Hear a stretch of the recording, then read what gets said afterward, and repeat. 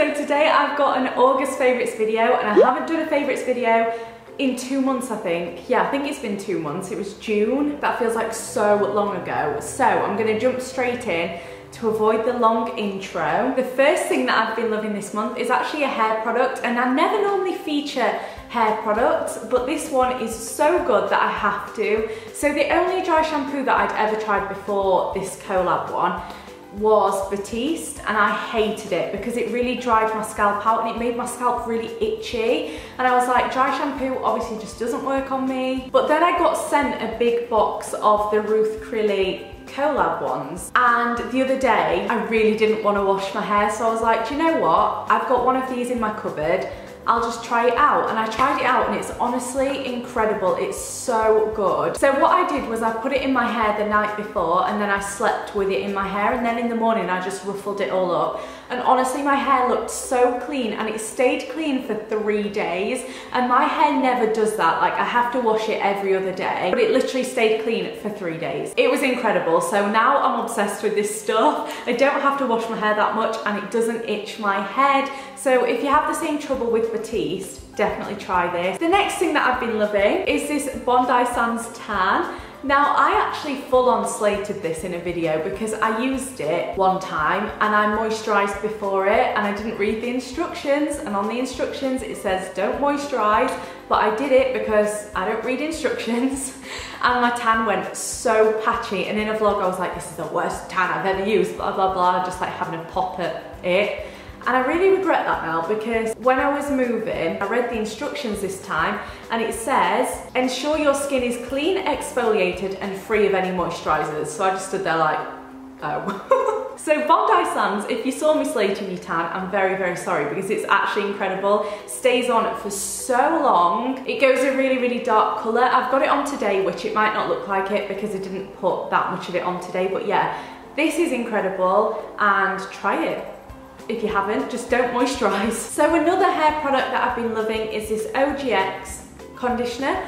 I've got this purple one and I don't actually like the scent of it. To me it smells like lavender, which I hate, but this has made my hair so soft. I'm normally an Aussie girl through and through. I will just use Aussie constantly, but I ran out and I saw this in my beauty stash when I was packing. So I gave it a go and it makes my hair super soft. It's like on the same level as Aussie. I think this is more expensive though, so I would still go for Aussie, but yeah, I have been really enjoying this. Moving on to makeup, the first makeup product that I've been loving is this Kylie Jenner highlighter pot and it's in the shade Santorini. Now I've fully gone off the absolutely bam highlighter for every day. I just don't like it. I think it just looks like a streak on your cheek. So I've completely gone off that and I've started using the Dandelion Light from Benefit and it's so good. It gives the most subtle highlight ever but it's so pretty. It just makes you look really healthy. However, when I do want something that's a bit more bam, I go for this. I don't know if you can see it on my cheekbone, but it's so pretty. It gives you like a wet look highlighter and it actually doesn't look that unnatural because it is more of a wet look and less of a shimmery one. I'll give you a little swatch on my hand. You'll be amazed. Okay, so are you ready? Look. And then when you blend it out, it just goes into this really, really pretty highlighter and you can obviously blend it out more than that. So pretty, I love it so much. I wish she sold these separately because I think you can only get them in her holiday collection, the vacation one, which sucks because I would literally buy this on its own. There's another colour that I love called Fiji, which is a bit more like goldy, like rose goldy coloured. It's really pretty as well when it's on your cheeks. And the next thing that I've been loving is this Hoola contour stick. I didn't even know that they did a cream contour stick. I actually got sent this very kindly and I've been using it and it's the nicest shade. Like, let me show you. So see that on my hand? It's definitely not like really grey toned and I don't like grey toned contours. I feel like with my skin tone, they just don't look that nice. They look really muddy and ashy. But this just blends out to a really, really gorgeous shade and obviously you can keep on blending. So on your face it just looks really subtle. I'd say if you've got the same kind of skin tone as me, which is like a MAC NC20. Definitely try this out because it's so good and it blends like such a dream, honestly. You put it on and it's just like, oh, On to a couple of nail polish that I've been loving. The first one is one that I've got on today and I swear I've mentioned this so many times but it is the Sunlight Daylight Curing Nail Paint by Barry M and it's in the shade All the Things She Read. This is just a really nice hot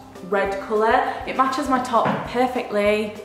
Emotional. This top was from Weekday. I'll try and link it if they have it, but I don't think they actually have it anymore. But yeah, this is so nice. I just put it on and it doesn't matter if my nails are short or not because it just looks fine either way. I feel like there are a lot of nail polish colours that don't look nice on me when my nails are short, but this one always does, so it's like my go-to one. And the next one that I love is this Nails Inc one, and it's called Golden Lane. It's super bright yellow. I absolutely love yellow nail polish. I've just got this thing for it, like yellow and red nail polish at the minute are my absolute go-to. I just think they look so cool, and you can wear a really monochrome outfit and have yellow nails, and it just looks really like edgy. The last makeup item that I've been loving is the Too Faced Chocolate Bar Palette. This has kind of replaced my love for the Naked palette, but it's just got loads of like chocolatey shades in, obviously. I do wish that the highlighter shades were smaller and that they had like two more colours because I don't really wear the highlighter shades at all. But I do love this shade so much called Creme Brulee. It's a really pretty like muted gold. And I love Marzipan as well, which is above it. I just really like sh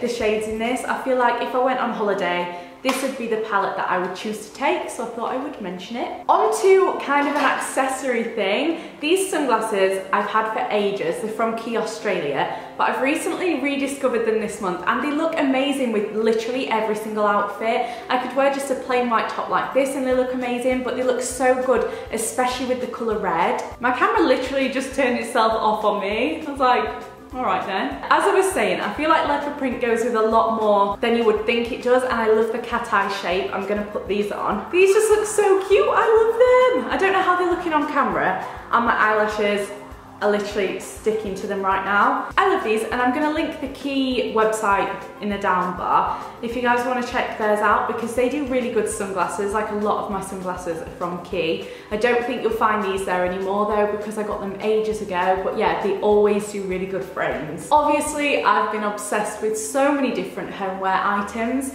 but one that is new that I've been loving is this one, and it's a plant pot from Anthropologie. It was 14 pounds, which is actually quite quite cheap for Anthropologie. Their prices are insane, but it's so cute. It's this marble pattern with gold flecks on it, and it just looks so lovely, and I can't wait to put a plant in it because I think it'll look so nice. Kind of obsessed with this. On to song favourites. I've had two standout favourite songs for the last week or so and the first one has been Havana by Camila Cabello. I love this song so much. It reminds me of my new print that I've got. Like I feel like I should stand in front of that print and sing Havana. It's got like island vibes for me. It just transports you to an island somewhere with a cheeky margarita, a few coconuts here and there. It's just a really good song. If you want a really good feel good song, check that one out for sure. And my next favourite has been Oh, Look What You Made Me Do by Taylor Swift.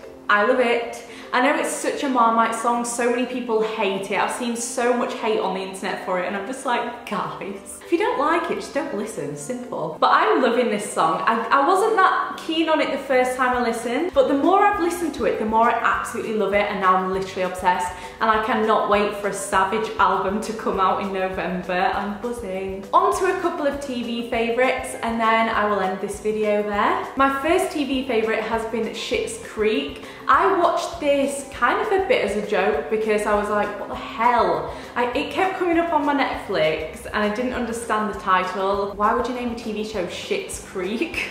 But as I started watching it, I just fell in love with the show. I love the characters. It's about this rich family who lose absolutely everything and the only thing that they've got left is this town in America that the dad bought the son as a joke and it's called Schitt's Creek. So they have to move there because it's like the only thing that they own. So it's really just about this rich family who have to adapt to living in kind of a poor town. It's just really good. I guess it's classed as a comedy. I don't find it that funny, but I don't normally laugh at comedies anyway. I don't know why, unless it's Peter Kay, I don't normally laugh at a TV program, but it's a really good TV program. It's good to just have on in the background, like Gossip Girl. Gossip Girl I think personally is too boring to like fully watch it, but it's a really good like in the background kind of program. And is the end of my August favourites. Let me know if you want me to carry on doing these in the comments and give this a thumbs up if you did enjoy it. Don't forget to subscribe if you'd like to see more vlogs and videos from me and I'll see you in my next one. Bye!